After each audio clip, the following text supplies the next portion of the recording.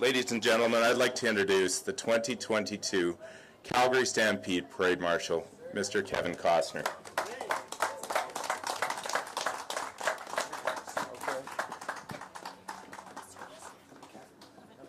Good morning.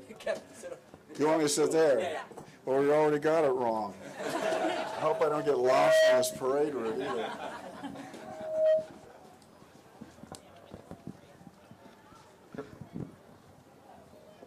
All right, so Marianne has a mic um, for a brief Q, Q&A. Um, so Marianne will handle questions. Camilla. Hey there, good morning, John, Kevin. Welcome to Calgary. Welcome back to Calgary. Um, there's two legends sitting right in front of us in their own rights. I was curious, have you fellas ever worked together before and what it's been like? And if you haven't, or if you're thinking of maybe any future projects together, I know Kevin's currently shooting Yellowstone. Big fan. We're all big fans. I had the honor uh, to prod some horses for Kevin on a show called Open Range.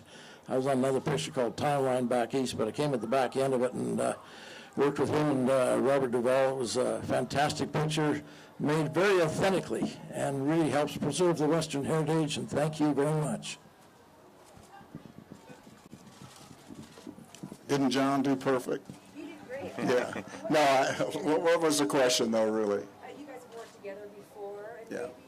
Planning on working together again? I mean, today Yeah. working Well, together. here's the here's the truth. You know, no, John is a cowboy, and I'm a I'm an imaginary cowboy. I I'm like a lot of people that maybe see themselves on a horse, and I've been lucky enough to do that. I mean, you know, I realize how lucky I've been in my life, and uh, not many people get to s- get to save the girl, get to save the day, get to go after the bad guy, and I sometimes feel like when I'm doing it, I'm doing it for everybody.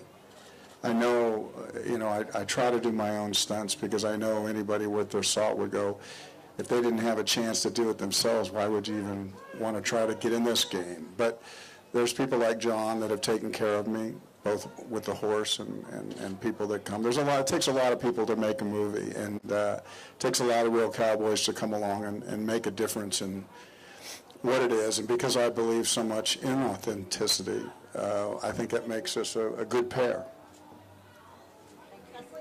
Hi, Leslie from Global. Oh. Oh, on his knee? Hi. Uh, no, okay. The security are going to have to hold her back a little bit. See, I told you. You're a little too close, man. last time around. Um, I'm wondering, oh, by the way, and if you need a girl to save, hi. Um, I'm wondering with the past couple of years and the current environment, I think there's a real um, appetite in this city to celebrate the theme of this year's parade, which is Together Again. I'm wondering what Together Again means for you. Well, I'm, you know, I would much rather go places with people in my life. The reality of my life is sometimes I go places where people don't want to go with me. And I'm willing to go through the world by myself.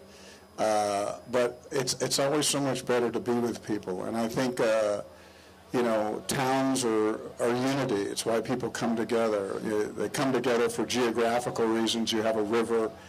But uh, we need each other. And when we don't kind of uh, deal with each other in civil ways and, and, and, and allow for the differences, you know, we, uh, we, we keep missing the point. And the idea that COVID has reminded us sometimes that things can be taken from us in a wink of an eye and to understand we can come back out and celebrate this parade, this, this uh, yearly thing that's been happening for almost 100 years.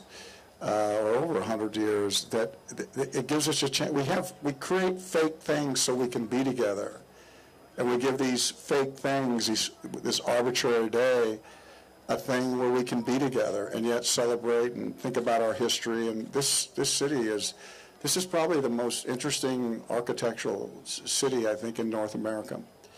Uh, it might even be the cleanest. And I've had really good luck up here with two movies and uh, the band playing. We're going to play tonight.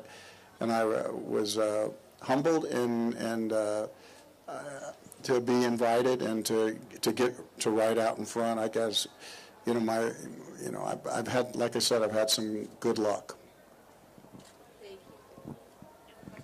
Yep. Um, I, this question could be for either one of you, but I'm wondering um, what it is about the idea of the West that continues to capture people's imagination in, in movies and in uh, events like this. I don't know. I mean, no one's ever going to tire of running horses and rivers that don't stop flowing and mountains that don't feel the need to move and are snow-capped and these prairies that go forever. But I think some, something romantic about the West, and we know how hard the West is, but there's something interesting about a man on a horse and all he needs, and, and the only thing that he needs is what that horse can carry. There's something unique about that relationship, and to somehow feel that free that you can just ride off into the horizon and you have everything you need uh, that that horse can carry, and there's something self-sufficient about it. You know, um, we have so many people to arbitrate our problems now. We have lawyers, we have agents, we have publicity people, and uh, I think sometimes when we look at the West, even though there's this level of violence, there's this also this notion of that we'd like to sometimes handle problems ourselves. We'd like to maybe walk next door and tell somebody what time it is, as opposed to having a lawyer do it and say, "Now, can we get along now?" So, I don't know. Hi, oh, uh, Mr. Costner, uh, uh, um, uh, just, uh, I don't know. Sometimes I think you guys are directing traffic in these bus, so I don't know if there's cars coming through here at any moment or not. Okay, I see you though. how's, uh, uh, just your thoughts in terms of, uh, of, you know, ser- serving the role you're going to serve in this parade today, and kind of what was behind your decision to do it as well? Well, y- you know, it's a, a call like that comes out of the blue a little bit. You don't think of it. Um, uh, you know, um, to, to, to be asked to be the head of this thing, I, I was caught by surprise, and and um, and I wondered, you know, how my- my name, like I said, ended up on the list. You know, I was just glad that it did, and. Um, I'm filming Yellowstone right now, and I, I really felt like uh, I wanted to try to accept this, uh, what I called a really wonderful invitation. I wanted to be a part of it. This, this city has been very good to me, being able to come up here, and, and uh, I didn't know if I was going to be able to make it, but we, we, I tried really hard, and it, and then the kind of sky opened up, and I could come. One more question. Anybody have one more question? I have one for Mr. Scott. Oh, Hi, John. What, uh, we were talking about the film industry and with what you do and how far along you've brought the film industry and you're part of it with, with, with your, what you do with the stunts and what you do with the horses. Uh, let's talk about where things have come since you've been in that game. I uh, started in uh, about 1969 on a show called Little Big Man. Started as a writing extra at uh, $25 a day, and I thought this is a lot of fun. And then I got moved up with the stunt guys, and I got 100 a day, and I thought, wow, this is a business. When the show was over, they said, come to Hollywood and we'll teach you the ropes. So I uh, watered their horses and fed their horses and cleaned the manure out of their trucks. So I get on sets of uh, Alias Smith and Jones, Gunsmoke, and uh, Big Valley.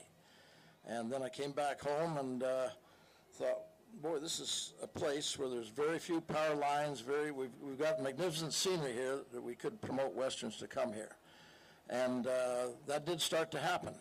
My grandfather had farmed with horses till uh, 1959, so I had a lot of his equipment and harness. I saved that and started adding to it.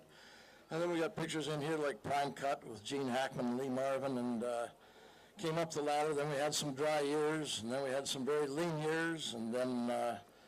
Uh, had some major pictures come in here like uh, Legends of the Fall, and uh, Kevin brought in here Open Range, and uh, that started to make things kind of take off and uh, got us renowned for our scenery and uh, the quality of crews that we have here. And last year, we had the best year in history in Alberta in the film business we've ever had. And it was partly due to the government got on side and realized tax credits are important to the film industry and put us on a level playing field. And everything changed, and uh, hopefully we're going to keep it going. Thank you.